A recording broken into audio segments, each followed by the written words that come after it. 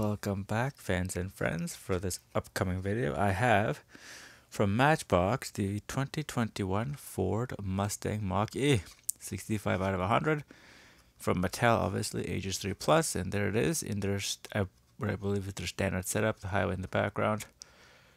Covering although it doesn't look like it quite fits there. I think that looks like it's superimposed but there's a curved bit of road there Wheels look nothing like they do in the picture, but the good news is we do see uh, rear view mirrors. And there's the charging port. And once again, what they've done is they've painted the front of the car and the back of the car. So that's a step in the right direction. However, what I don't like, and there's the Ford up there, sometimes they have it here, but for this one they have it up there, is they've, I believe, switched to this predominantly cardboard type packing packaging. It's not painted whatsoever. Probably a cost cutting measure. But that's not important for me because I'm going to open this. So here we have 2021 Ford Mustang Mach-E. So it's not the sports car. It is technically a sports car because electric cars obviously have very good acceleration. They don't have any gears or anything else, just with the motor and the drive and off they go and this is probably the biggest like they're reusing their Mustang name brand. So even if it doesn't uh, quite fit the mold of the traditional sports car here it is. And so I'm just gonna go out and get it out of its package. Like I said at the very least they're making their basics uh, look way better which is nice. Because they're also getting a little bit expensive. I think this was a dollar 69 at Walmart. So and as we can see, I don't have unfortunately the Tesla in front of me or the Lucid Air, but they've done this panoramic style. Although I think, yeah, it does. I do believe this is just the roof, and they've heavily tinted the windshield, so that's kind of a downer. Because I have enjoyed the fact that several of the last vehicles, like, look, it's really difficult to see through them, so that's not good.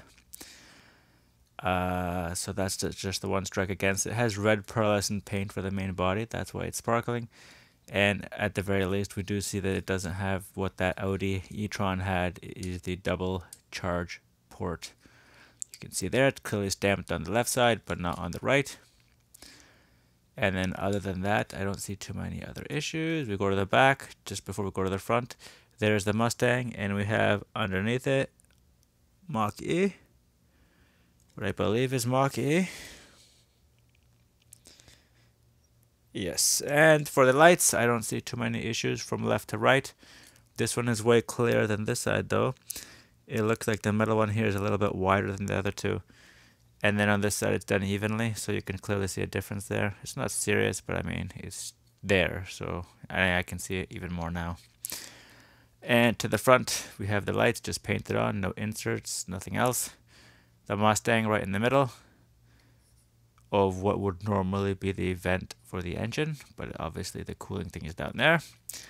Batteries still get hot, they just don't require it uh, as integrally as the older internal combustion engines. Obviously here it is 2022, so it's this year, and we get exactly what we have on the package. Instead of 2021, it's just 21 Ford Mustang Mach-E, which is exactly as is on the package. So there we go. And so there we have it, the Ford Mustang Mach-E. I've now done the Volkswagen, the Lucid Air, Tesla Model X, and the Audis, the pair of Audis from the last two videos. And so here we have another, I don't really see too many of these, they do pop up from time to time.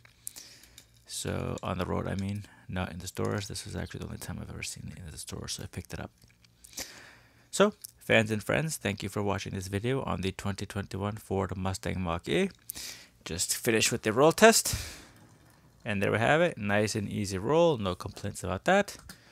So, thanks for watching this video. And to the next one.